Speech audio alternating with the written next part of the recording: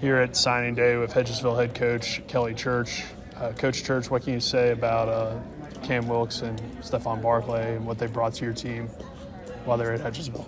Well, um, you know, obviously, uh, both of them tremendous, uh, tremendous athletes, and, and uh, you know their basketball skills. But uh, you know, all that aside, like you know, when I when I just when I spoke to the parents briefly before they they, they signed their letters of intent, like uh, you know, the, we, we really do. We talk about it here all the time, like the, the relationships you build.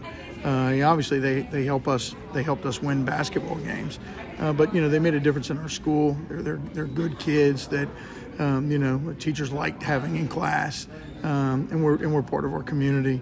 Um, you know, basketball wise, obviously, uh, you know, Steph's athleticism Cam's skill and shooting ability. Hopefully, will bode well for both of them and and for Potomac State. Coach Streets does a great job, and he's a he's a young guy. I met him a, a few years ago, and uh, ever since then, you know, we've we've built a relationship. And um, you know, I tell the kids all the time that relationships is, is what it's really about, and can make a big difference in your future. And so. Uh, you know, both of them have, have, done what they needed to do academically, uh, and you know, uh, came here with aspirations of playing college basketball, and through their hard work and, and relationships and um, you know making phone calls and doing different things, you're able to make some things happen for them. So I'm extremely happy for them and their family uh, that both of them have the opportunity to go on and play basketball at the collegiate level.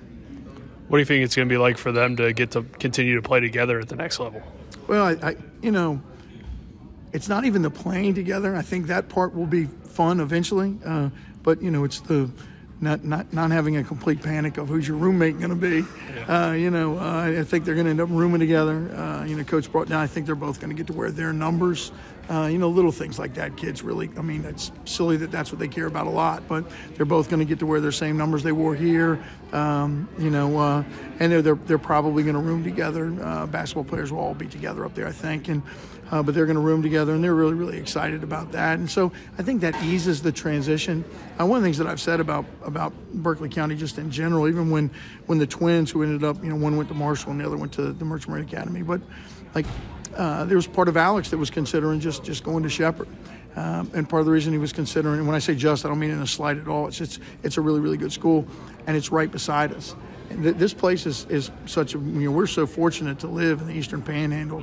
Uh, we just have so many blessings here that while we're, we're close to big cities, but, you know, there's a, there's a safe feel here. And, uh, you know, sometimes it's, it's, it's hard to get kids to want to leave that. And so, uh, you know, they're going to Potomac State, which isn't that far away, uh, but it's far enough away where, you know, if they want to do laundry, they're going to have to come home on a weekend, not on a Monday night. So, um, but we're, we're excited for them. And, um, you know, and, and it, you know, obviously it says a little bit about what we do here at Hedgesville High School in terms of basketball kids. We've had in the 25 years, like, you know, we've had you know, close to 40, 43, 44 kids go on and, and play college basketball. And uh, so helping them be able to do that, to give them some incentive to, to continue and chase their degrees is what's really, really important.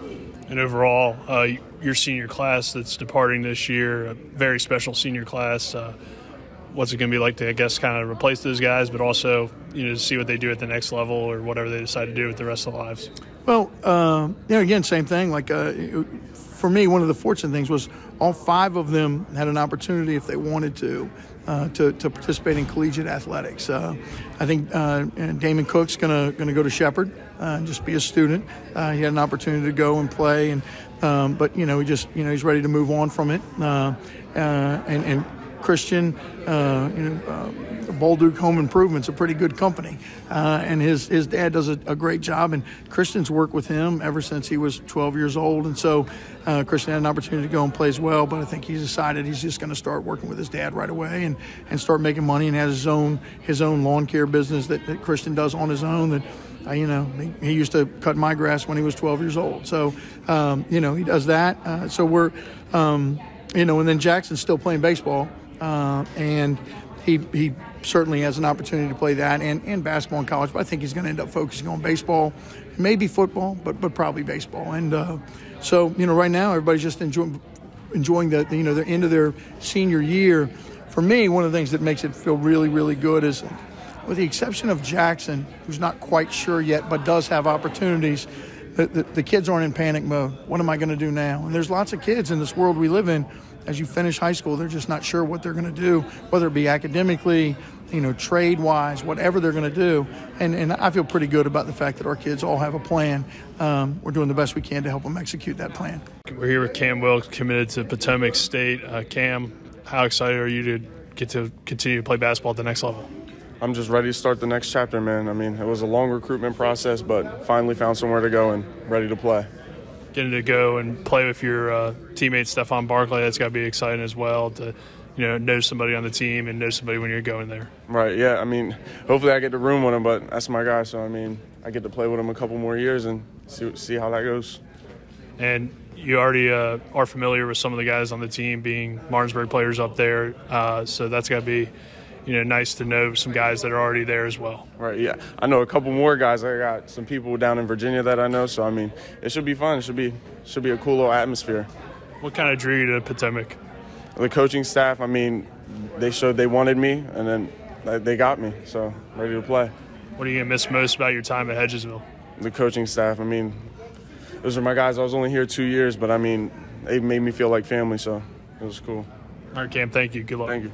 We're here with Stephon Barclay. Stephon, uh, on your signing day, excited about going to Potomac State. What led to that decision? I'm extremely excited. The coaches pretty much stuck with me through the whole process. So that's pretty much what made me stick with them because they stuck with me. You spent one year here at Hedgesville. What kind of uh, what did you take away from your final senior season here? Uh, we really learned how to play as a team. I feel like that was really important.